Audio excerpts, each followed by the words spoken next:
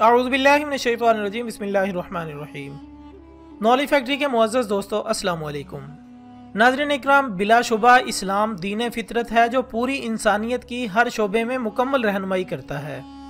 اسلام کی پاکیزہ تعلیمات جہاں عقائد و عبادات اور اخلاق و آداب کے تمام پہلو کو جمع کیے ہوئے ہیں، وہیں حفظان صحت کے معاملے میں بھی اسلام کی مکمل ہدایات موجود ہیں۔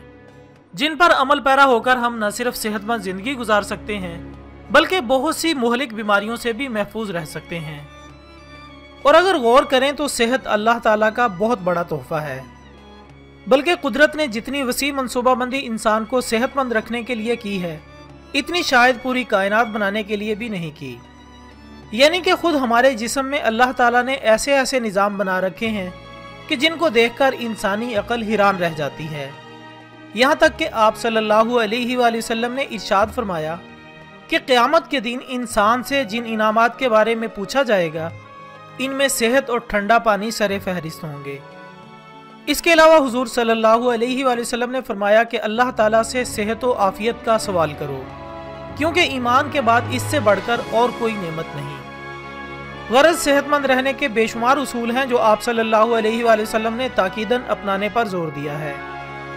جو چودہ سو سال پہلے تو مفید تھے ہی، مگر آج جدید سائنس نے بھی یہ ثابت کر دیا ہے کہ صحت مند رہنے کے جو اصول اور طریقے جناب رسول اللہ صلی اللہ علیہ وآلہ وسلم نے بتائے ہیں، وہ طریقے قیامت تک آنے والے انسانوں کے لیے مشل راہ ہیں۔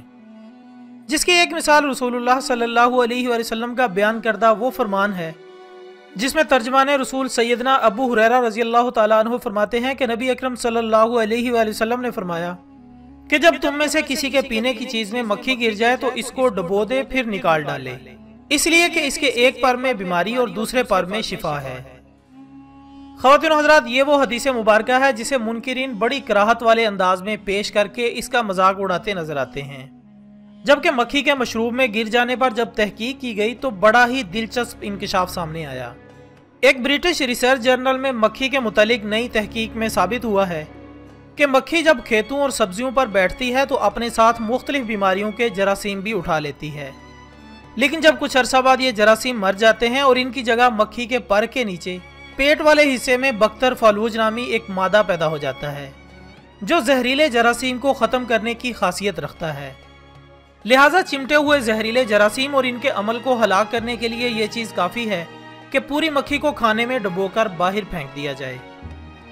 خواتین حضرات، یہ اسی بات کے مزداق ہے جیسا کہ نبی اکرم صلی اللہ علیہ وآلہ وسلم نے چودہ سو سال پہلے بیان فرما دیا تھا۔ جب انسان جدید میڈیکل کے متعلق بہت ہی کم جانتے تھے، جبکہ حالیت تجربہ سے یہ ظاہر ہوتا ہے کہ ایک مکھی بیماری کے جراثیم کے ساتھ ساتھ ان جراثیم کو مارنے والا مادہ بھی اٹھائے پھرتی ہے۔ بس دوستو، ثابت ہوا کہ پوری کائنات میں کوئی ایسی طاقت موجود نہیں جو رسول اللہ صلی اللہ علیہ وآلہ وسلم کی تعلیمات کو جھوٹا ثابت کر سکے۔ دیر سے ہی صحیح لیکن عقل اس بات کو ضرور تسلیم کر لیتی ہے کہ اسلامی تعلیمات حرف بحرف درست تھیں جسے آج بھی عمل میں لایا جا رہا ہے اور جس کی واضح مثال ایک ادنا سی مخلوق مکھی سے متعلق ہے، جبکہ اس وقت جدید ٹیکنالوجی کا نام و نشان بھی نہ تھا۔ دوستو، ہمیں چاہیے کہ ہر لمحہ اللہ عزوجل کا شکر ادا کرتے رہیں، جس نے ہمارے لیے نبی اکرم صلی اللہ علیہ وسلم کو آخری رسول بنا کر بھیجا۔ جنہوں نے ہمیں اس قدر ایسی خوبصورت تعلیمات سے نوازا کہ جسے آج صدیاں گزر جانے کے بعد سائنس دریافت کر رہی ہے۔ بے شک قدرت کی طرف سے اس میں بھی عقل والوں کے لیے نشانیاں ہیں۔ آخر میں اللہ عزوجل سے دعا ہے کہ وہ ہمیں اپنی نعمتوں کی قدردانی اور شکر بجا لانے کی توفیق عطا فرمائے۔ آمین سم آمین۔ اس کے ساتھ ہی ہماری آج کی ویڈیو کا اختتام ہوتا ہے۔ کل انشاءاللہ ایک اور اچھی سی ویڈیو کے ساتھ دوبارہ حاضر ہوں گے۔ تب تک کے لیے اجازت دیجیے گا۔ اپنا دوستوں، رشتہ داروں اور گرد و نواح کے تمام لوگوں کا بہت خیال رکھیے گا۔ اللہ حافظ۔